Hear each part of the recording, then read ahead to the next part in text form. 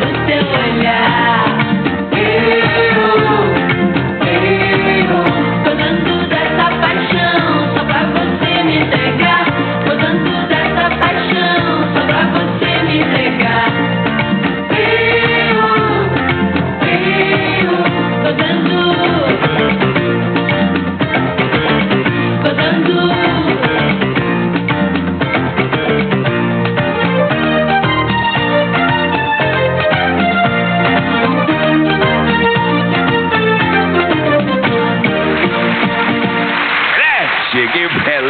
É uma grande artista, uma grande amiga, um astral maravilhoso.